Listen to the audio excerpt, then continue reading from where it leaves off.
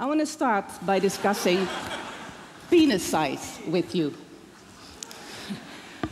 What does penis size have to do with trust? Well, everything. For some reason, for the last 16 years since I've been in, living in Indonesia, penis size has been a recurrent topic.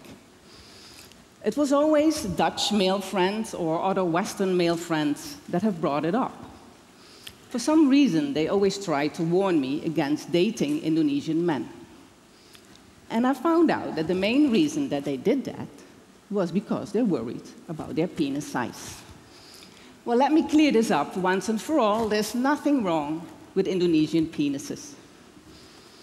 Let me give you some background. I've been uh, living in Indonesia for 16 years. I was in a relationship and a marriage for a long time with the same person.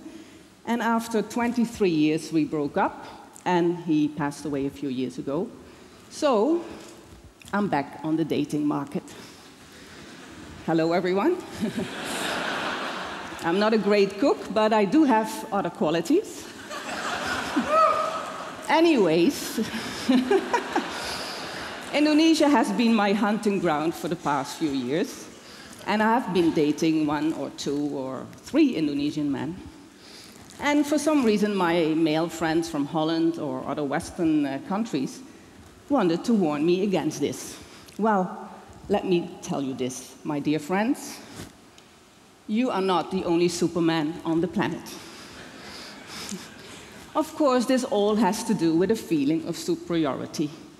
Don't get me wrong, these friends of mine, they don't consider themselves to be racist. They live in Indonesia or they travel to Indonesia.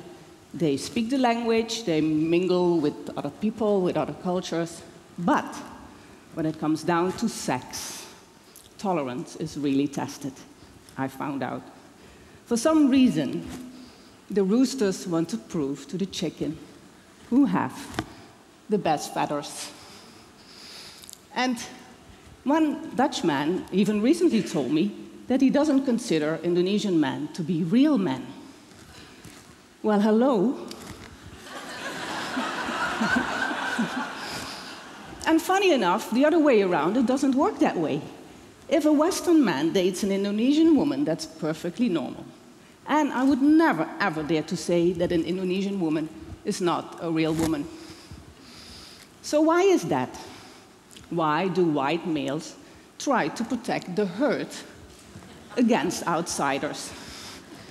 Of course, it all comes down to bias bias towards other cultures.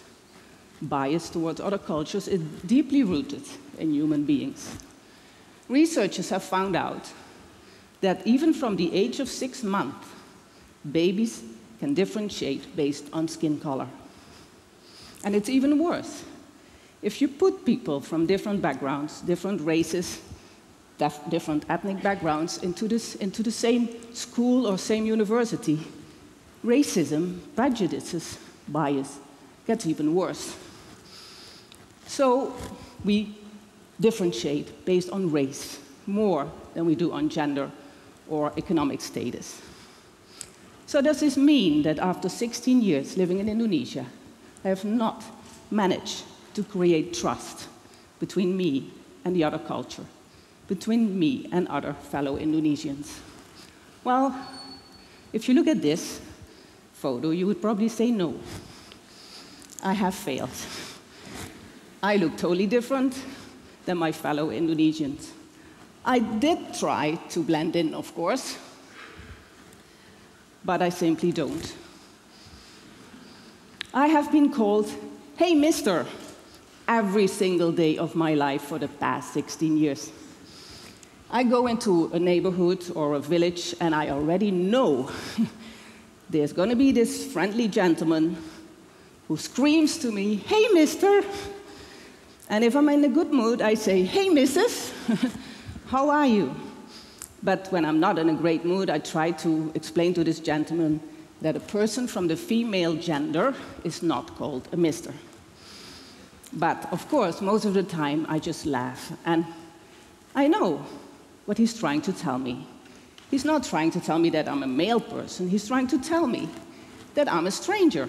Hey, stranger, That's funny, that's great to see you here. I'm surprised. Can you imagine that we would do the same thing in Nijmegen, for example?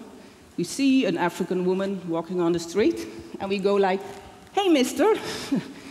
Very hard to imagine, of course. But isn't that much more honest? Isn't that what we are thinking anyway? Hey, there's a stranger. So, what that, in that sense, what Indonesians are doing is very honest. But being that stranger every single day of my life for the last 16 years has changed me as a person. Most of the time, I just accept the fact that I'm different. But I sometimes, I'm not in the mood to be the only white alien that lands in the village. Then my face changes, my expression changes, my body language changes, and I'm just screaming one thing I want to be invisible. Leave me alone.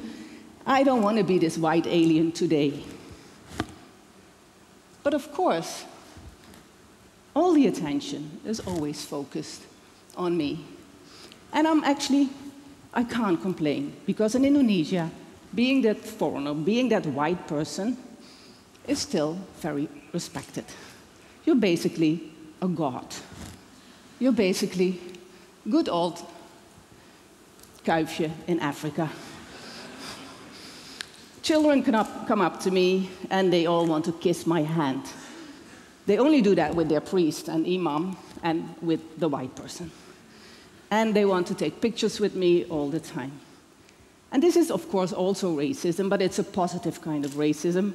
It doesn't really hurt me, but I don't want to be in that situation all the time.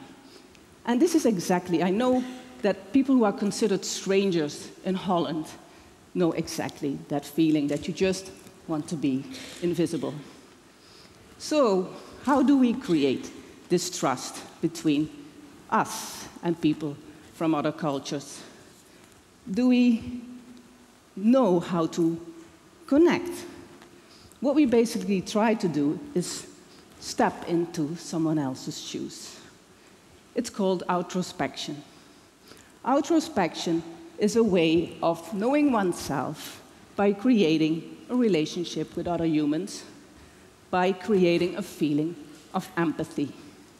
So basically, what I'm trying to do here is a little experiment. I want you to step into the shoes of this woman, the woman in the middle. Her name is Rosita. And if you see her, what do you think? She's wearing a headscarf, yes, so she's Muslim. What else? She looks friendly. Is she a radical, a fundamentalist? Is she a terrorist? Well, I tell you who you are. Rosita. So, you, in this situation, because you are Rosita, are a friend of mine. I met you very closely after the tsunami in 2004. You lost your three children, all your children and you lost your house, all your possessions, and you also lost your husband. So basically, you wanted to start a new life. You decided to go to Holland. And first, you started to connect to Dutch people, you started to learn the language, but you still felt that you were still a stranger. People felt, yeah, they made you feel different. There was a kind of fear, even suspicion that you felt. There was no trust. So now, you being a Rosita, how do you feel? How do you feel? Do you feel left out? Do you feel sad, isolated, lonely, not being trusted? This is basically what the experiment is all about. You feel some kind of empathy, I hope. I hope most of you will feel some kind of empathy for her. So I haven't thought about this theory. It's a theory from a philosopher called Roman Krznaric, and he actually calls the 21st century the century of empathy. In contrary, the 20th century was the century of introspection. Basically, now we're looking out, outside. He even calls it a revolution, a revolution of human relationships. So, how do we create empathy? How do we learn how to do that? Some people are naturally better equipped than others. But even people who have felt a lot of hatred and intolerance towards other people have managed to completely turn around and become empathic people. I can only speak for myself. This is me. I grew up on a farm. My parents are there. and um, the only other cultures around me were white and black sheep. I still remember when I was around nine years old, the first brown kid arrived in my village, and I was very excited about it. To me, he represented the outside world, a world that I wanted to discover. And I was wondering, where does this come from? Because from my situation, from my circumstances, there was no stimulus to do this. So I don't know where it comes from, but I wanted to travel and I wanted to find out. So I traveled to Asia when I was 21 years old and I fell in love immediately. But I was still a stranger. And I didn't want to be that stranger. So, how did I try to make this connection? How did I try to find trust? Well, first of all, I tried to look like them. Wait, well, it doesn't go back. Anyway, trying to look the same as an Indonesian woman, I found, doesn't help. And to be honest, a white person like me, looking like an Indonesian, looks kind of ridiculous. So I decided that's not the way to go. And through the years, I learned a different way. I basically learned that you're not going to be like them, and you're also not going to be the old person. You are going to be a new person. You create a new dimension.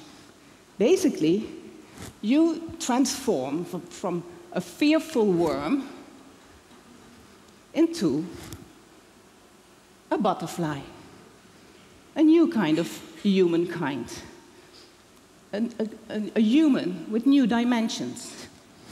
So, this is me. Yes, this is me. And the difference that looks from the outside isn't there. Probably you would think, who are these people? Are, the, are these radical Muslims? Do you think that? Are they terrorists, maybe? no, they are my neighbors. These are my old neighbors. And I know them for 15 years. We lived in the same neighborhood, in the same street. This person next to me is called Erwin. He used to be a motorbike taxi driver. We have that in Jakarta because there's a lot of traffic. So I used him a lot, going on a motorbike from one place to the other. Now he has uh, made some success in his life, and he's running a very successful goat meat restaurant. So Erwin and a lot of other people have made me a new person by giving me trust. But it's not only the easy way. This person, he looks like a cool rock star, but this is the real terrorist. He has killed uh, over 100 Christians. And he has done one of the worst atrocities committed in Indonesia, I think. He has beheaded Christian schoolgirls during a conflict in Sulawesi between Christians and Muslims. So, why do I want to step into the shoes of this monster? You want to ask? I don't know. I felt the urge to do that. And I met him a couple of times. And I was fascinated. I wanted to know why have you become like this? Because he used to be a drummer in a rock band. And then he told me his story, and of course, there's always a story. And he told me it's basically revenge. His family was murdered by Christian. And he came from an ordinary background, but he was influenced by militants and he became a terrorist. They basically jailed him for 19 years, but he recently escaped, which is kind of worrying. but I learned also things from him. I stepped into his shoes. So by doing this, I created a new way of thinking about people. I felt like I've now become a more complete person. I, I, I feel like my eyes can see more, my nose can smell more, and I feel like my soul has more layers than I had before. So I want to do this with you. I want you, just maybe today, approach a stranger and just say, hey, mister, or hi, stranger, and try to step in that person's shoes and see what comes out of it. Maybe something great will happen after that. Talk to someone you would never, ever talk to before. And if you do that, we will all become butterflies. Thank you very much.